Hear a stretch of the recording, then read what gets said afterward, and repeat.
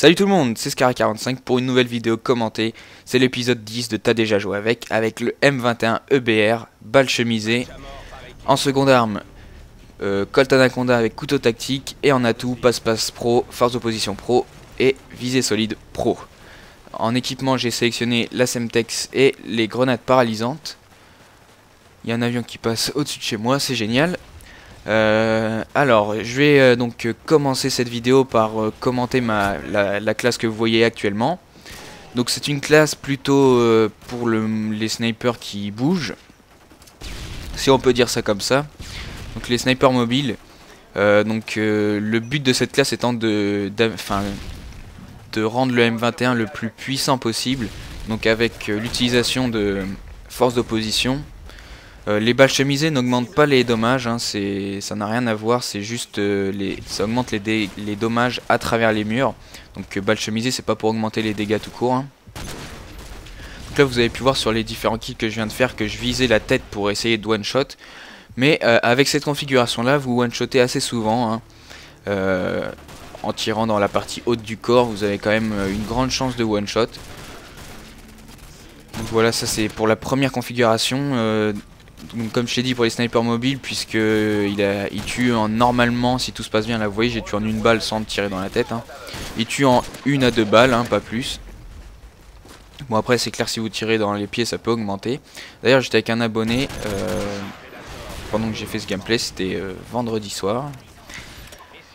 Euh, qu'est-ce que je voulais vous dire d'autre? Ah oui, alors Concernant les atouts, euh, passe-passe donc pour une visée plus rapide, mais euh, vous allez voir que j'aurais peut-être dû mettre pillard, même si ça le fait pas trop avec un sniper. Euh, enfin bref, c'est juste comme ça que je le dis. Hein. Pour avoir plus de balles, c'est vrai que c'est un petit peu juste. Ensuite, ben, donc force d'opposition comme je vous l'ai dit pour augmenter les dommages. Et visée solide, c'est vrai pour le corps à corps si jamais vous voulez pas mitrailler parce que c'est pas bien, mais voilà. faciliter les noscopes puisque ce sniper s'apparente plutôt à un, fusil d'assaut, une carabine, voilà, ça me fait penser un peu à une carabine ce sniper, c'est vrai. Et puis euh, voilà, donc euh, rien de spécial à ajouter. Hein. Ensuite, je vais vous parler d'une deuxième configuration qui est donc qui serait plutôt avec un silencieux et sans froid, donc dans un mode furtif. Euh, le but étant de, faire des, frags à, longue distance surtout, en toute discrétion. Donc euh, plutôt approprié pour un mode hardcore ou alors vraiment pour, euh, bah, je, pense de la camp, hein, faut le dire. Donc euh, ça serait le M21BR avec silencieux sans froid et puis pourquoi pas ninja hein, pour des déplacements silencieux même s'il y en a parce que c'est vrai que on est plutôt amené à camper. Donc ouais le M21EBR c'est plutôt un sniper d'hardcore. Alors au début j'hésitais à vous présenter un, gameplay en hardcore, c'est un, pote qui m'a dit ça, t'as qu'à le faire en hardcore mais c'est vrai qu'après, au niveau de la série, ben, ça correspond plus vraiment. Si on commence à changer de mode à chaque fois et tout ça, ben, ben voilà.